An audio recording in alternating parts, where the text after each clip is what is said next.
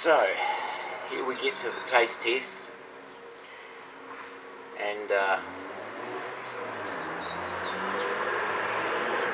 you can smell the chocolate is, is more than anything else.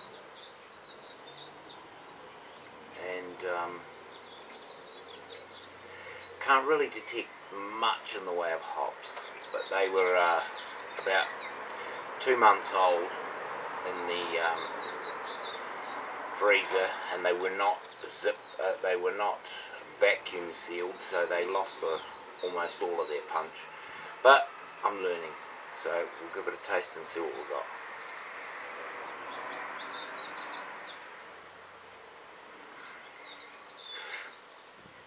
I've got to say that's a well balanced amount of chocolate grains. I thought 300 grams might have been too much but it turns out that it's bang on the money.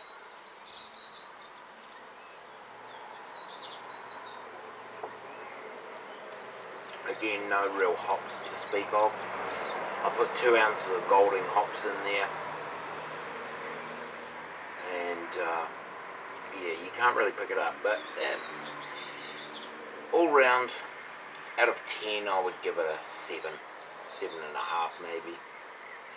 So, cheers and drink good beers. Over and out.